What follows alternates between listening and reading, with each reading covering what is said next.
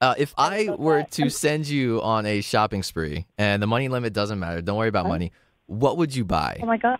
Oh my god. Okay, first and foremost, I would hit up like Williams Sonoma and get so many kitchen supplies. Really? Re- so like a kitchen KitchenAid and a bunch of bunch of stuff. And then as far as clothes, I love like I love Topshop. I Mhm. love I mean, that would be really cool to just go into Gucci and just get whatever I want. Oh, I know, right? Just pull up, then just put it in the bag. Right, exactly. Um, and definitely go to a toy store and give my cousins like an endless supply of all the toys that they want. Oh, that's so sweet. They're my babies. Um, that's interesting that you would pull up to the kitchen store first. What are you a fan of like know, the colored uh, like utensils and plates and everything? Like what what is your color?